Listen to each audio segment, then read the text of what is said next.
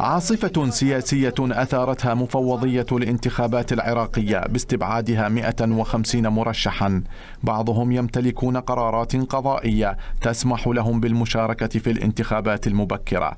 الاستبعاد أثار العديد من التساؤلات خصوصا وأنه جاء قبيل ساعات فقط من قرعة توزيع أسماء المرشحين مما يحرم المستبعدين من حق الاعتراض أو الطعن في القرار. الأمر طبيعي الاستبعاد لكن هو المشكلة أنه هذا الاستبعاد لازم يعقبه الطعون.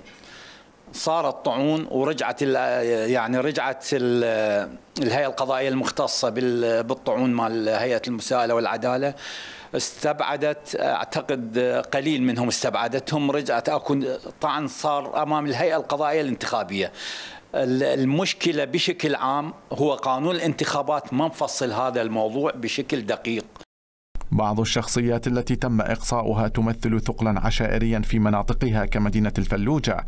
التي استبعد واحد من أقوى مرشحيها مما دفع عشائرها لتنظيم تجمع كبير داخل المدينة لدعوة الجمهور لمقاطعة الانتخابات. عملية استبعاد مرشحين لهم قدرة ولهم قوة خلال ساعات أو قبل ساعات من المصادقة على الأسماء وتوزيع الأرقام آه، يزيد المشهد تعقيدا ويعطي صورة ضبابية للمواطن. نحن نسعى إلى أن يقوم المواطن بتعزيز ثقته بنفسه تجاه الانتخابات وتعزيز ثقته بكل العملية السياسية. لا نريد أو على الأقل لا يتحمل المشهد العراقي أن تحصل مفاجآت في قرارات الانتخابات أيا كان نوعها.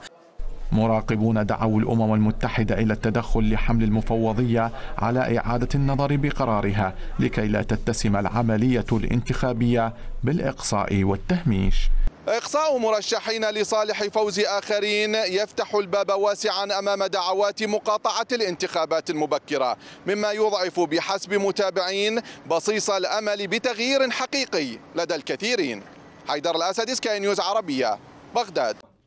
شكرا لمتابعتكم. اشتركوا في قناتنا على يوتيوب.